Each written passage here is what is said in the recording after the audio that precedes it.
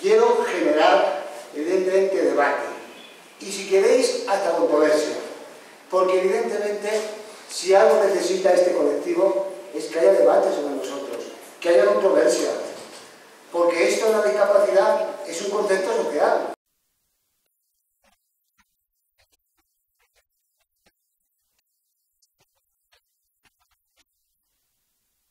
Se va contra estos derechos cuando no se le permite en la práctica tener una igualdad de oportunidades en todos los campos utilizando los recursos de la comunidad. El impulso de las medidas que promuevan la igualdad de oportunidades concierne a la sociedad, organizaciones y entidades, pero en primer lugar al legislador.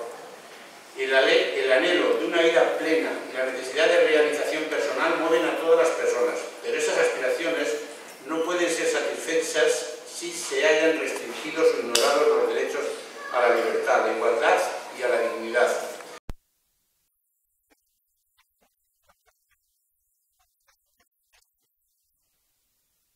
Y el problema que tiene este colectivo es que mientras que la sociedad no se mira al espejo, nosotros seremos una ficha roja en un tablero de blancas y negras.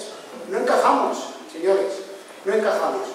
O la blanca se vuelve roja, o la negra se vuelve roja, evidentemente es imposible.